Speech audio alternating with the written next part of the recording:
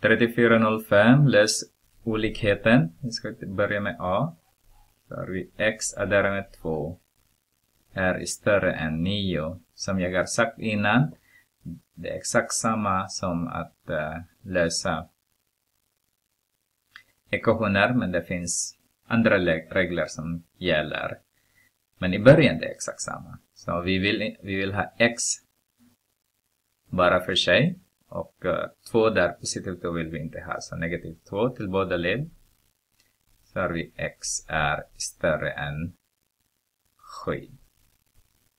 Titta på B. Eh, 3x subtraherat med 5 är mindre än 4.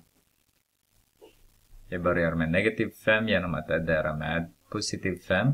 Eller addera med 5 bara. Förlåt. 3x är mindre än 9.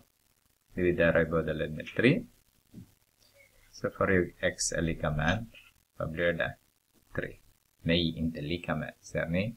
Även jag glömmer ibland att jag jobbar med olikheter. Mindre än, mindre än 3. Ska vi titta på C. X är därmed 3 är mindre än 0. Så jag subtraherar båda led med 3. Sorry, x är mindre än negativ 3. Sen tar jag D. Eh, 4x är med 11 är större än 17. Så drar båda led med 11. Så 4x är större än 6. Eh, vi dividerar båda led med 4. Så vi x förkortar vi med 2 så det är 3 och 3 halv. Eller x är större än 1,5.